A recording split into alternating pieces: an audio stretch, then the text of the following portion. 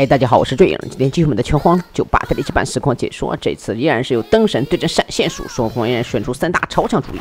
下盘轻手一个地波，空中小吊 CD 轻手接一下，哎，但是对手一个闪电踢还是被顶啊。现在下盘轻腿走一波，灯神现在继续向前推进，这一个特位是他的一大超强主力。哎，下盘轻腿再见灯神冲拳，跳特地到满边一个大灌篮，落地追加地波，抓住以后一个轻手封一下，哎，特瑞还是在。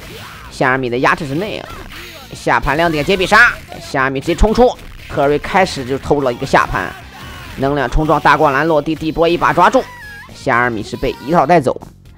下面来到第二场，第二场看闪现术的这个八神出场，看八神这一波有没有好的操作。哎，滑步再接再来一个滑步，八神是跳飞破防，跳壁进攻，但仍然被一个灌篮打飞。现在特瑞继续直跳重腿。八神他也是不敢轻举妄动啊，因为如果被灯神抓到一次机会，就直接一套带走了。暴走八神的血量是特别少的。落地葵花三十八之女，现在八神的百合折已经成为神技。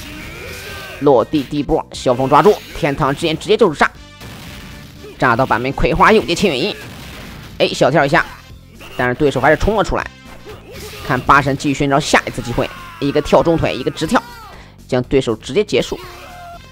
下面看第三场，第三场来看罗伯特出场。哎，罗伯特进攻，下盘一点重手一掏，但是还是一个霸王先后轰了一下。现在继续压制。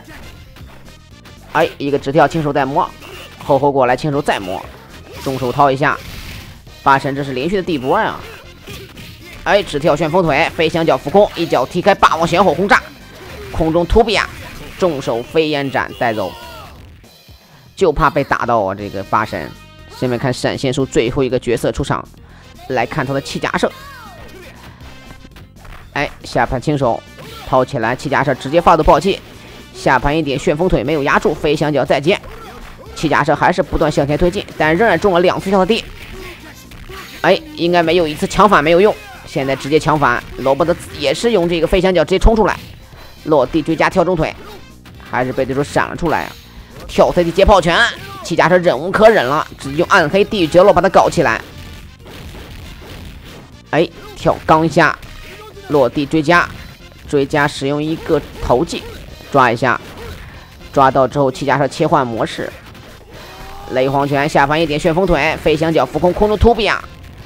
哎，罗伯特再来个直跳，但仍然被打，落地抓一下，跳抓大招，幸亏没有被罗伯特给反杀掉啊。还是见到了灯神的这个板崎良，看板崎良这一波闪亮登场。